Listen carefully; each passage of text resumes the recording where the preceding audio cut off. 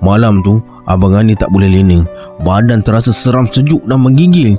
Dia sangat terkejut dengan kejadian tadi. Bila cuba nak pejamkan mata Terbayang wajah Mariatun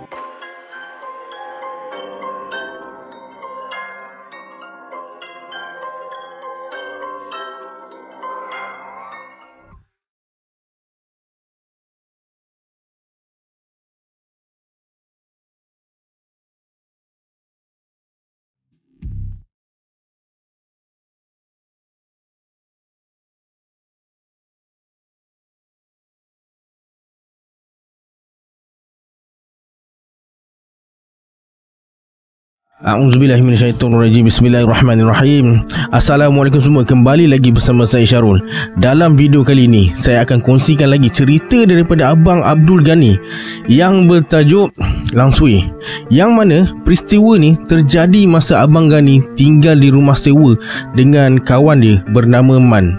Rumah tu berdekatan dengan sekolah tafiz dan ada tasik dekat sana. Nak tahu kisah dia macam mana? Tonton video ni sampai habis. Yang mana belum subscribe Sila subscribe sekarang Dan tekan notification bell sekali. Kalau nak join group telegram saya Saya letakkan link dekat Description box dekat bawah. Macam biasa Kita baca selawat dulu صلى الله ربنا على النور المبين أحمد المصطفى سيدي المرسلين. صلى الله ربنا على النور المبين أحمد المصطفى سيدي المرسلين.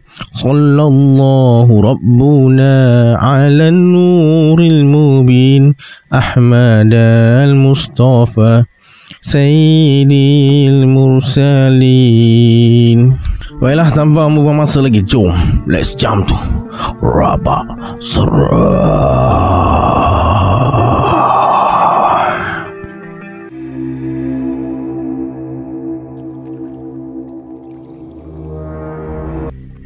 Suatu hari, kawan Abang Gani datang bawa kawan dia bernama Man. Jumpa Abang Gani sebab nak cari rumah sewa. Sebelum ni, Man menyewa empat orang dekat taman perumahan tempat Abang Gani tinggal tu.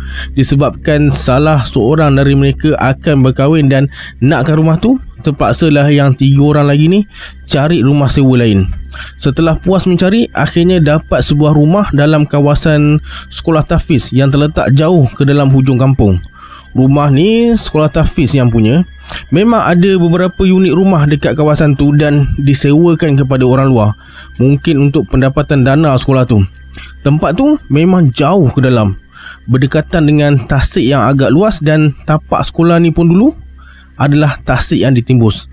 Jalannya pun jalan mati. Jalan tu hanya menuju ke tafiz tu je. Dekat sekeliling sekolah tafiz tu dan tasik tu adalah hutan rimba mereka pun pergilah jumpa kerani sekolah tu untuk urusan menyewa. Setelah setuju dan bayar deposit, hari tu juga Man ajak Abang Gani temankan dia tidur dekat rumah sewa baru tu. Abang Gani pun setujulah memandangkan Man menyewa seorang je dekat rumah tu. Petangnya, mereka sampai. Man bawa barang-barang dia. Tak banyak pun, cuma beberapa buah beg je. Maklumlah orang bujang kan? Nasib baiklah rumah tu dah ada sediakan dapur dan peralatan memasak. Termasuklah sebuah peti ais kecil. Masa Man tengah kemas rumah tu Abang Gani tinjau lah sekitar kawasan rumah tu. Adalah beberapa unit rumah yang dibina sebuah-sebuah. Jarak antara rumah lebih kurang 30 meter. Tempat tu memang sejuk dan nyaman. Mungkin sebab dikelilingi tasik dan hutan tebal tu ada pokok kelapa pandan yang ditanam sejajar sepanjang lorong depan rumah tu. Tiba-tiba ada dua orang budak lelaki berumur sekitar 10 ke 12 tahun macam tu pakai baju Melayu putih, samping hijau dan bersongkok hitam. Tegur abang Gani. Assalamualaikum pak cik. Baru sewa dekat sini ke? Waalaikumsalam. Ya, yeah, pak cik baru sewa sini. Malam ni baru mula duduk. Oh, baguslah ada orang dewasa tinggal sini. Boleh juga tolong jaga kami. Si Mariatun tu asyik mengacau je setiap malam. Mariatun? Siapa dia tu? Tak apalah pakcik. Nanti dah lama tinggal pakcik tahulah. Kami minta diri dulu. Dah nak maghrib. Mereka melangkah tinggalkan Abang Gani yang dalam keheranan tu. Agak jauh juga asrama pelajar dengan rumah sewa tu. Malam tu, lepas makan malam dan solat isyak, Man baring sambil layan handphone. Abang Gani pula duduk bersandar dekat dinding sambil merokok. Dia cuba fikirkan apa yang budak tadi cakap. Mariatun? Asyik mengacau? Apa maksudnya? Tiba-tiba terdengar macam deru angin yang agak kuat dan bunyi macam kain dikibar menerpa ke arah rumah tu. Kemudian berhenti atas atap rumah mereka. Abang Ani cuba mengamati kalau-kalau ada sesuatu atas atap tu. Tapi suasana sepi je. Agak lama, tiba-tiba. Bunyi macam orang sapu atap dengan menyapu lidi. Mungkin daun atau pelepah kelapa bergeser dengan atap rumah kot. Fikir abangan ni lah. Kemudian, benda tu berbunyi lagi. Ditambah dengan bunyi mengilai yang halus dan panjang. Bulu roma abangan ni terus meremang.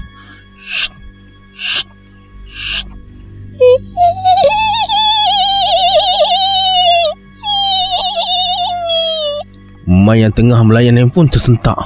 Dia macam baru sedar bunyi tu. Apa tu? Tanya Man sambil pandang bumbung. Bila Abang Gani amati bunyi tu, dia teringat kisah bidan siam dekat kampung dia dulu. Rambut dia keras, terjurai macam dawai. Bila menurun, dia pusing-pusingkan kepala dia. Rambut dia terkena talam sembahan dekat depan dia. Macam itulah bunyinya. Kemudian, terdengar bunyi tangisan sayu dari atas bumbung.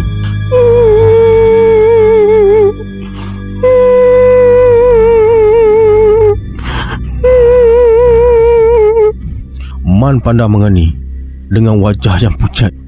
Dia semakin gementar. Kepala Abang Ani terasa kembang dan bulu roma dia terus meremang. Man bersuara. Siapa pula nangis atas atap malam-malam buta ni?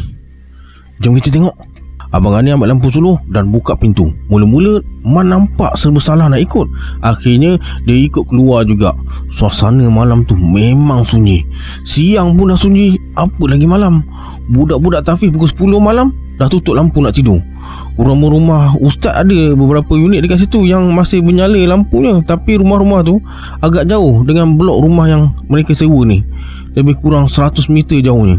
Mereka berdua keluar dan suluh ke atas ke atas atap rumah. Tak ada apa-apa, cuma ada beberapa ranting kecil dan daun-daun reput je. Bulan malam tu agak suram. Lama juga mereka periksa atap tu. Abang Ani suluh keseluruhan bumbung hingga ke unit rumah lain. Namun, semuanya biasa je. Man mengeluh sambil melangkah masuk ke rumah. Dia bersuara. Mungkin bunyi ranting jatuh atas atap kot. Abang Gani biarkan Man masuk dulu. Dia nak ambil angin malam kejap. Sebenarnya Abang Gani masih tak puas hati lagi. Mana mungkin ranting kayu boleh mengilai dan menangis? Abang Gani mula rasa tak sedap hati bila teringatkan kata-kata budak tafiz pestang tadi. Kemudian, dia suluh atap sekali lagi. Tak kelihatan apa-apa. Dia ambil keputusan untuk masuk ke rumah semula. Baru beberapa langkah nak masuk ke rumah tu, tiba-tiba Abang Ani terhenti. Serentak, dia menunggak ke atas bumbung. Abang Ani terkaku, lutut mula menggigil. Kelihatan satu lembaga berpakaian ser serba putih. Agak compang-camping dan kotor tengah duduk mencangkung sambil pusing-pusingkan kepalanya. Dengan rambut panjang menggerbang kusuk masai dia tu. Rambut tu terkena atap rumah dan menghasilkan bunyi. Abang Ani masih terpaku. Mulut dia terkunci nak panggil Man. Tiba-tiba lembaga tu berpaling ke arah dia. Seorang wanita berwajah putih pucat Sepasang matanya merah dengan anak mata dia putih Kedua keningnya agak lebat dan hampir bercantum Abang Gani tak mampu nak buat apa-apa Nafas dia turun naik Dia cuma mampu melihat dan menanti Tiba-tiba lembaga tu menyeringai dan mengilai Kelihatan gigi taringnya yang agak panjang Bila dia berdiri dan mendepakan tangannya Kelihatan kuku-kukunya yang panjang. Sosok tu berbunyi.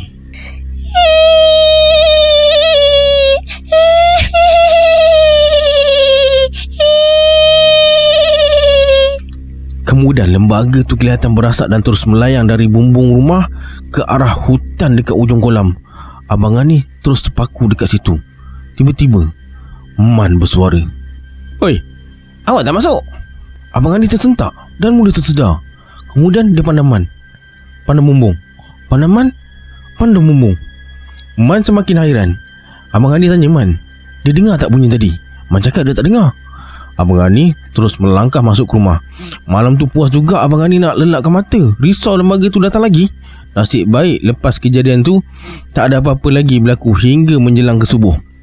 Abang Ani tak ceritakan apa-apa pada Man. Kejadian malam tadi Biar dulu. Nanti menakutkan dia pula.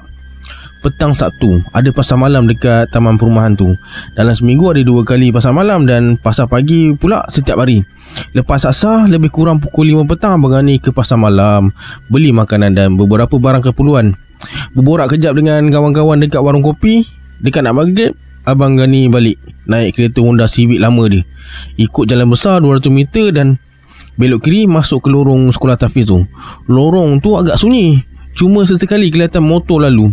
Abang Ani memandu sambil dengar radio Klasik FM Lepas lalu satu selekor dekat tasik di kiri jalan. Abang Ani ternampak seorang gadis berbaju kurung kuning Bertumpuk bunga hitam tengah berjalan sambil bawa beberapa bungkusan plastik. Ya Allah, berjalan kaki jauh ke pasar malam? Sianya Abang Ani serba salah nak tumpangkan gadis tu. Takut jatuh fitnah pula nanti tapi gadis tu jauh lebih muda lagi daripada dia. Macam adik je. Lagipun niat ikhlas nak menolong. Kemudian Abang Gani berhentikan kereta Depan sikit daripada gadis tu. Gadis tu tersenyum Tengok Abang Gani berhenti. Dia tak bertudung. Rambutnya agak panjang Tapi diikat tocang kemas. Abang Gani tanya Nak tumpang tak? Gadis tu cakap Boleh juga. Gadis tu pun buka pintu belakang. Bila dia masuk dalam kereta Semerbak bau harum Menusuk hidung Abang Ani mula bergerak sambil sesekali jeling cermin pandang belakang. Gadis tu memang cantik macam Arab. Hidung mancung, pipi kemerahan, ada taik lalat bawah bibir sebelah kanan. Umur dalam lingkungan 17 tahun. Mungkin pelajar tafiz kelas menengah. Abang Gandhi bersuara. Adik dah hafal juzuk berapa sekarang? Hafal juzuk? Yelah, adik pelajar tafiz kan? Eh, bukan bang. Saya bukan pelajar tafiz. Mana ada pelajar tafiz perempuan dekat situ? Pelajar lelaki je. Saya orang kampung ni je. Dekat rumpun buluh tu ada lorong ke rumah saya. Gadis tu tunjuk sebelah kanan. Abang Gani berhenti kereta dekat rumpun buluh yang ditunjukkan tu Ada kesan uh, laluan macam lorong kecil Yang nak ditutupi dengan semak samun. Sementara dia keluar dari kereta tu Abang Gani sempat tinjau ke hujung lorong kecil tu dalam sama-sama senja tu kelihatan rumah kayu lama bertiang agak tinggi dan agak besar. Tapi rumah tu nampak dah terlalu uzur.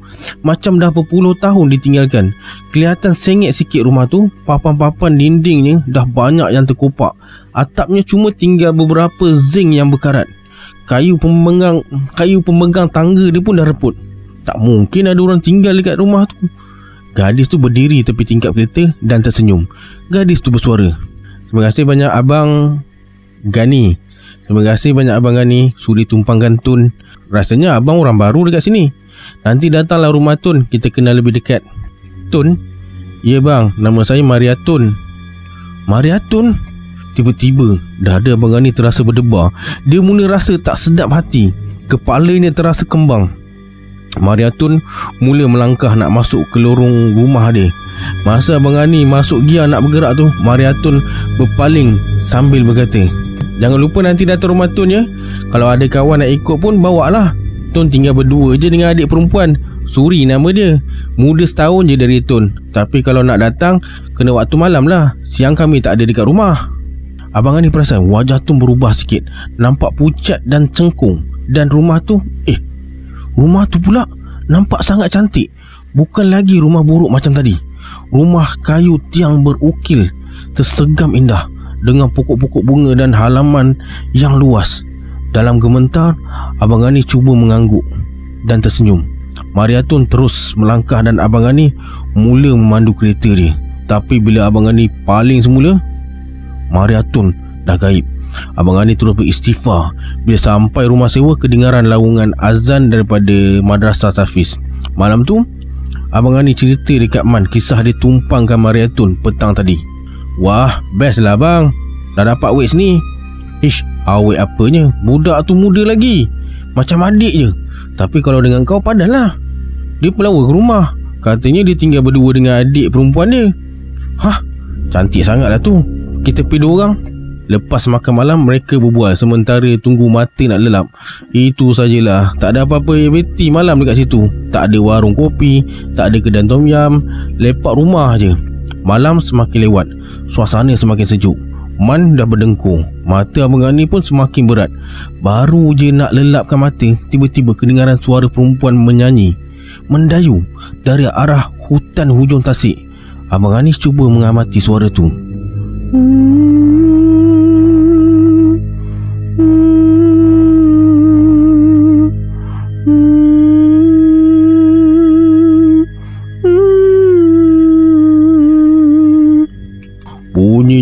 menyeramkan macam merintih. Beberapa minit kemudian Suara tu senyap. Abang Gani abaikan. Dia nak sambung tidur.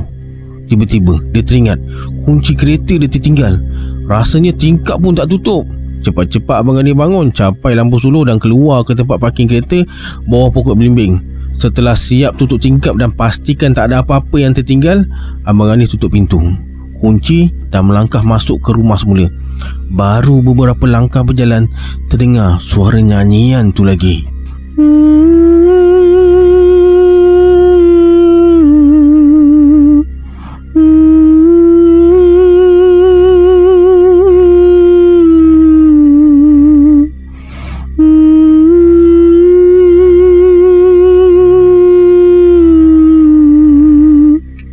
Tapi kali ni lebih dekat lagi. Abang Gani menoleh dalam sama gelap malam tu Lebih kurang 30 meter depan Abang Gani Kelihatan susuk seorang gadis Bertubuh kecil Kurus dan agak tinggi Berpakaian serba putih Bawa sebatang joran Dan sebuah bakul buluh Tengah melintas jalan Macam nak pergi memancing.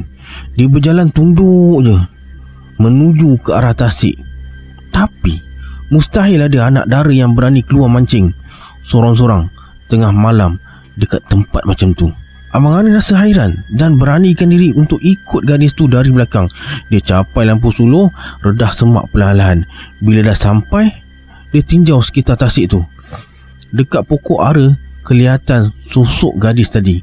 Memang betul dia tengah memancing. Tapi Abang Ani tunjuk-tunjuk mata dia beberapa kali. Dan renung semula. Pakaiannya dah bertukar Kali ni dia berpakaian kebaya kuning. Abang Gani memang dah terasa amat seram dan menggigil Tapi perasaan ingin tahu tu kuat. Abang Gani beranikan diri datang dekat dengan gadis tu. Bila dah dekat, gadis tu terus menoleh Dan dia macam terkejut tengok Abang Gani Bila terpandang wajahnya Jantung Abang Gani berdegup kencang. Spontan Abang Gani bersuara. Mariatun Eh, abang rupanya Belum tidur lagi ke? Eh, eh be, be, belum. Tun buat apa dekat sini? Mancing lah bang. Inilah kerja Tun cari rezeki. Tetapi Tun tak takut ke sorang-sorang malam buta macam ni? Dengan keadaan tempat ni pula. Tun datang berdua dengan adik Suri. Dia dekat ujung sana tengah cari katak. Cari katak? Nak buat apa? Belum sempat dia menjawab, kedengaran bunyi suara mengilan dari arah yang Tun tunjukkan tu.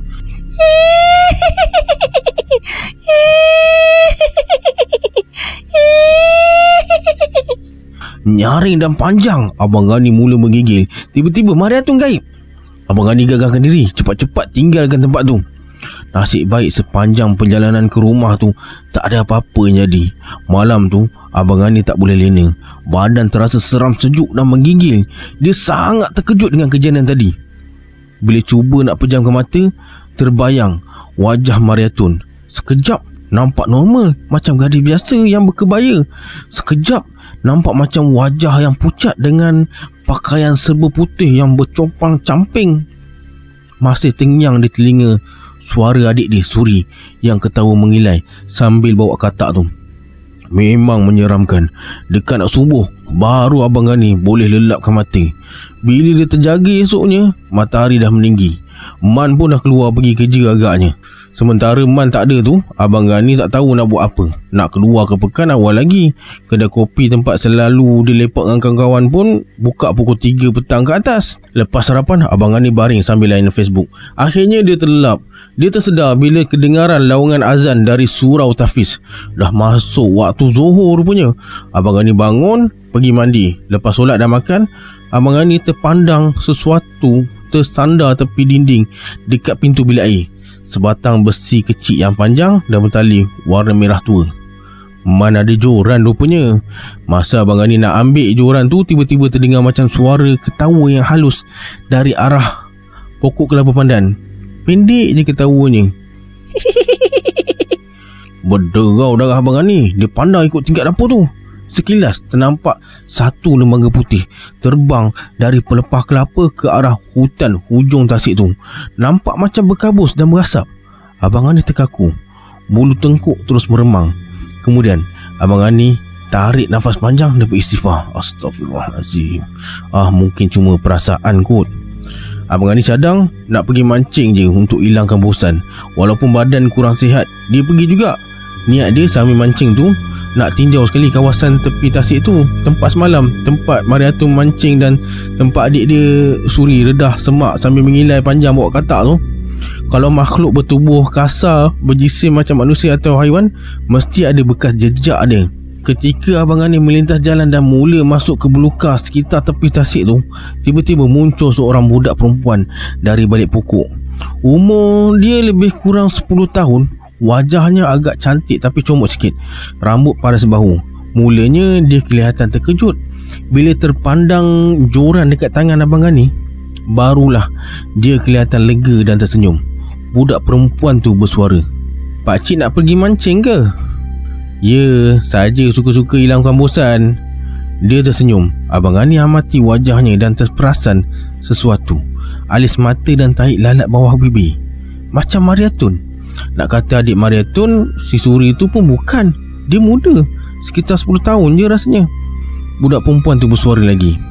Tasik tu memang banyak ikan. Sebab jarang orang pergi. Tak ada yang menjala atau memukat. Sesekali je seorang dua pergi mancing. Biasanya orang luar. Abang Gani hanya mengangguk je. Kemudian budak perempuan tu minta diri. Baru beberapa langkah berjalan Dia berkata lagi Menurut budak perempuan tu Dekat tepi tasik tu ada beberapa kubur lama. Kata orang kubur orang dulu-dulu Dan berharap Abangan ni tak terbuang air dekat kubur tu. Dan menurutnya lagi Kalau masa hujan renyah atau hujan panas Ada ikan ganjil sebesar manusia Warna hitam Muncul dekat tengah tasik tu. Tapi tu cuma cerita dari orang tua kampung tu. Mungkin nak usik anak-anak supaya tak merayau tepi tasik tu dia suruh Abang Ani tetap berhati-hati juga. Abang Ani cuma tersenyum dan mula melangkah. Tapi budak perempuan tu panggil lagi. Abang Ani menoleh. Dia senyum dan hulurkan satu bekas tin ke- kecil dekat Abang Ani Abang Ani ambil dan tengok isinya. Ada cacing dalam tin tu. Lepas ucapkan terima kasih Abang Ani teruskan perjalanan Hingga sampai di tepi tasik. Abang Ani mulalah mancing. Beberapa kali dia lempar umpan sambil bergerak sekitar tasik tu Seekor ikan pun tak dapat Akhirnya Abang Ani sampai dekat tempat dia jumpa Mariatun semalam Dia periksa kawasan tu ada helaian kertas surat khabar yang sedikit berkeronyot atas batu macam bekas orang duduk. Ada plastik bekas minuman ikat tepi dan ada sehelai kertas kuaci. Abang Ani tarik nafas lega sambil berfikir kejap. Kalau macam tu Mariatun Memang manusia biasa Orang kampung tu je. Tapi kemudian Abang Adi pandang ke arah tempat Suri lalu semalam Tak nampak pun macam bekas dilalui manusia atau haiwan. Akhirnya Abang Adi ambil keputusan Untuk balik je. Bukan dapat ikan pun Lagipun dia kurang sihat. Badan terasa panas dan pandangan dia berpinar sikit. Sampai dekat rumah Lebih kurang pukul 3 petang. Sekejap lagi mungkin Man balik kalau shift pagi 7 hingga 3 petang Atau kalau Man buat OT Mungkin sampai pukul 5 atau 7 malam. Abang Gani bersiap-siap nak keluar ke pekan dekat taman tu. Walaupun badan tak sihat Tapi perut kena isi juga Dia lapar. Masa Abang Gani keluar dari bilik Dia terdengar suara perempuan menyapa dari luar rumah. Dapat ikan bang? Abang Gani terus tersentak. Cepat-cepat dia buka tingkap dan intai keluar tak ada sesiapa. Dia tutup tingkap balik dan bergegas ke pintu depan. Dengan pantas Abang Ani buka pintu dan tinjau sekeliling rumah. Memang tak ada sesiapa. Tengok ke arah jalan. Tak ada siapa juga. Berderau darah Abang Ani. Cepat-cepat dia pergi dekat kereta Start engine dan bergerak ke pekan. Dengan jantungnya berdegup agak kencang. Suara siapa tadi? Macam mana dia tahu aku baru balik mancing? Sampai pekan lepas beli keperluan sikit Abang Ani ke tempat biasa Warung kopi tempat selalu lepak minum-minum dengan kawan-kawan dia. Masa Abang Ani sampai Ada seorang kawan dia nama As. Seorang pesara tentera tengah duduk dekat meja depan. Minum kopi oh sambil tengok handphone. Abang Ani pun duduk semeja dengan As dan order kopi ais Kemudian Abang Ani ceritakan apa yang berlaku dekat rumah sewa Tafiz tu. As pun cakap Memang ada dekat tempat tu. Lama dah. Setiap malam Suara perempuan mengilai Menangis Bertinggi atas bumbung Sambil pusing-pusingkan rambut dia. Kadang-kadang Tunjuk rupa Tempat tu bukan lombong. Biasalah tempat macam tu. Dia pun makhluk Allah juga. Pukul 6 lebih Abang Ani pun bergerak pulang. Lalu ikut lorong ke Tafiz tu. Lorong tu lengang je. Cuma sesekali Berselisih dengan kereta atau motor. Kemudian Abang Ani perlahankan kereta bila sampai dekat tempat dia turunkan Mariatun tempoh hari. Tapi, eh, rumah tu jadi cantik. Baru. Dengan halaman yang agak luas. Bunga-bunga hiasan yang tersusun rapi. Abang Ani cuba perhatikan kalau-kalau ternampak kelibat Mariatun dekat sana. Tapi, tak nampak sesiapa pun. Sunyi je. Dalam kebingungan tu, Abang Ani terus bergerak pulang. Sampai dekat rumah, Man dah balik dari kerja. Mungkin dia OT sampai pukul 6 kot. Man bersuara Hah bang Dari taman ke? Ya Bang Ada berita baik Kita diundang makan Undangan makan? Dekat mana? Rumah siapa? Rumah awet tu lah. Yang abang cerita tu. Mariatun dengan adiknya Suri. Hah? Mariatun? Haa Dia suruh ajak abang. Dia buat pulut dengan sambal tumis ikan bilis Dan pengat ubi. Special untuk kita katanya. Ya betul. Betul lah. Kalau abang tak percaya Try call. Ada suri bagi nombor tadi. Abang Andi tersentak Bingung. Macam tak percaya Kemudian Abang Andi telefon nombor suri bagi tadi. Engage Cuba lagi. Engage tu tu tu Abang Andi bersuara. Tak dapat. Tak apalah. Nanti kalau jadi sebelum pergi Kita cuba telefon sekali lagi. Man mengangguk sambil tersenyum. Muka dia nampak ceria je. Malam tu lepas isyak Setelah berbincang, mereka setuju nak pergi ke rumah Mariatun. Lagipun pulut dan sambal ikan bilis memang kena dengan selera Abang Gani sejak kecil lagi. Masa nak masuk kereta tu, Abang Gani cuba telefon lagi. Tut, engage. Beberapa kali telefon, tak dapat juga. Akhirnya operator jawab. Nombor yang anda dial tiada dalam perkhidmatan. Terima kasih. Ha, sudah. Abang Gani panaman. Man bersuara. Macam mana bang? Dapat tak? Apa katanya? Abang Ani cuma geling kepala tapi dia ajak juga ke sana. Ketika mereka sampai, rumah tu kelihatan sangat indah. Macam istana kerajaan Melayu lama dengan ukiran seni yang menakjubkan. Mariatun dan Suri dah siap tunggu dekat tangga. Dengan berpakaian baju kebaya merah hati sedondon, rambut bersanggul dihiasi lingkaran bunga tanjung. Harum semerbak. Mariatun bersuara. Sampai pun abang-abang kita, niatkan tak sudi datang tadi. Jemputlah naik Makanan pun panas-panas lagi tu Bau pulut dan sambal ikan milis dah menusuk hidung Kecoh air liur dibuatnya Mereka pun segera naik dan bersila depan hidangan. Mariatun dan Suri duduk bersipuh Layan mereka dengan penuh mesra. Mulanya Abang Anis sebut salah nak makan. Dia risau dengan status makanan tu. Tapi yang jelas Memang sah. Pulut dengan sambal ikan bilis. Ditambah pula dengan pengat ubi daun pandan. Man dah mula makan dengan seleranya. Mariatu mengesuk sikit menabati Abang Gani Kemudian dia letak sebelah tangannya atas peha Abang Gani Berderau darah Abang Gani dibuatnya. Mariatun bersuara. Kenapa tak makan bang? Tak sudi rasa masakan Tun ke? Tun terus ceduk pulut dan sambal letak dalam pinggan depan Abang Gani Abang Gani cuma pandang je dengan perasaan gementar Akhirnya macam dipukau Abang Ani makan juga makanan tu. Memang sedap. Lepas makan mereka berbubual sambil minum kopi. Mariatun dan Suri begitu mesra. Nampaknya Man dah jatuh cinta dengan Suri. Sambil berbual tu Abang Ani tengok jam dekat handphone. Hah Dah dekat pukul 12 malam. Tak mungkin. Rasanya baru sejam mereka dekat situ. Pelik Tiba-tiba terdengar bunyi macam sesuatu tengah terbang berkibas dan hinggap atas bumbung rumah tu. Serentak terdengar suara perempuan mengilai panjang yang amat menyeramkan.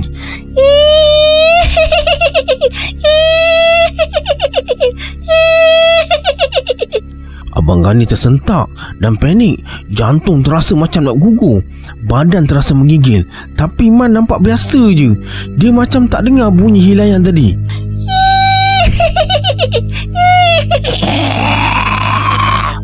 Nada hilayan tu jadi garau sikit. Mariatun terus menunggak ke bumbung. Kemudian pandang Abang Gani dan berkata, Suara kawan kami tu gila agaknya malam-malam mengilai dekat rumah orang. Abang Gani terpaku. Tapi Man buat tak kisah je Kusyuk berbual dengan Suri Suara tu mengilai lagi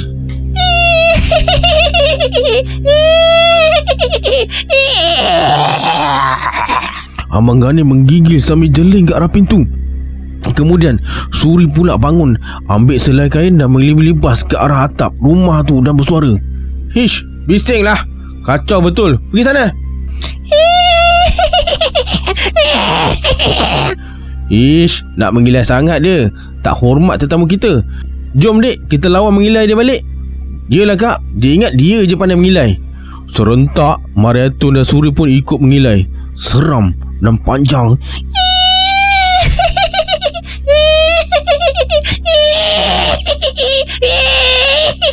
Abang Gani tak tahu nak buat apa dah Mulut bagaikan terkunci Man nampaknya mula sedar Dia tersandar dekat dinding Dengan mata ni terjegi Mariatun dan Suri terus mengilai lawan suara dari atas atap tu. Tiba-tiba, cahaya terang dalam rumah bertukar jadi suram dan sama. Suhu jadi sangat sejuk. Wajah Mariatun dan Suri mula berubah jadi sangat hodoh, pucat, putih dan cengkung. Rambutnya panjang dan merebang dengan mata putih dan anak matanya merah menyala menyeringai dengan taring yang panjang pada mereka berdua Abang Ani tak sedar bila masa dia terjun ke tanah dan berlari pulang tinggalkan kereta dengan Man dekat sana sampai dekat rumah termengah-mengah dan tersepuk pensan depan pintu. Abang Ani tersedar bila budak-budak Tafiq kejut dia mereka nampak Abang Ani tidur dekat luar pintu rumah pagi tu. Kemudian budak-budak Tafiz tu panggil salah seorang ustaz Untuk tengokkan keadaan Abang Ani. Setelah sedar dan pulih Abang Ani ceritakan segalanya yang berlaku pada ustaz Ustaz terus ajak Abang Ani ke rumah tu untuk cari Man. Bila sampai Ternyata rumah tu adalah rumah usang yang sangat buruk. Sengit dengan tiang-tiangnya dimakan anak-anak Dengan papan dinding dan atap yang terkupak sana sini. Macam dah berpuluh tahun tak berpenghuni. Mereka terpaksa naik juga.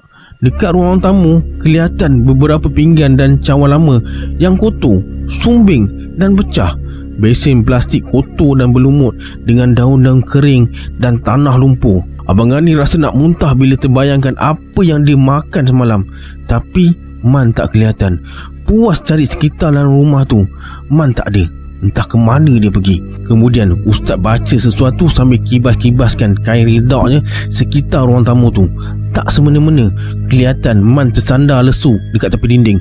Dadanya berombak kencang Dengan matanya terjegi Pandang ke arah atap rumah.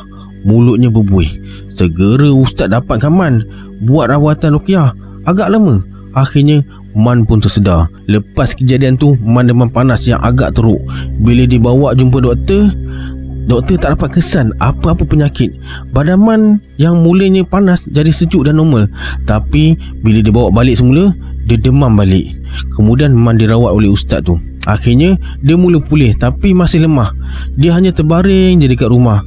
Man terbaring sambil lekapkan daun mulung dekat dada dia. Abang Gani bersuara Dah kering pun daun mulung tu. Dah habis kesan ubatnya. Buang je lah ganti yang baru. Daun mulung? Mana daun mulung? Itulah yang dekat dada kau tu Kan daun mulung tu Abang ni dah rabun ke? Daun mulung apanya? Kan ni selendang yang Suri bagi Hah? Selendang Suri? Ada lagi?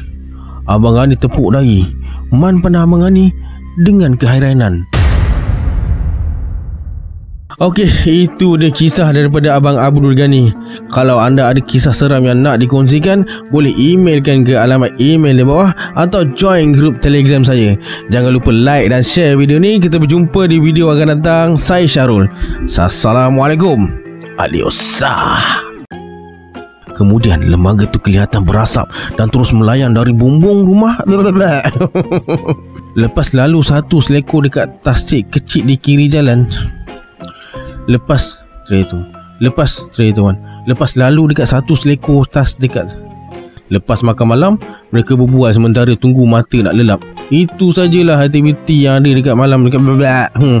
Setelah Setelah siap tingkap Bawa sebatang joran Dan sebuah bakul buruh. Bakul Buruh lah. Hmm.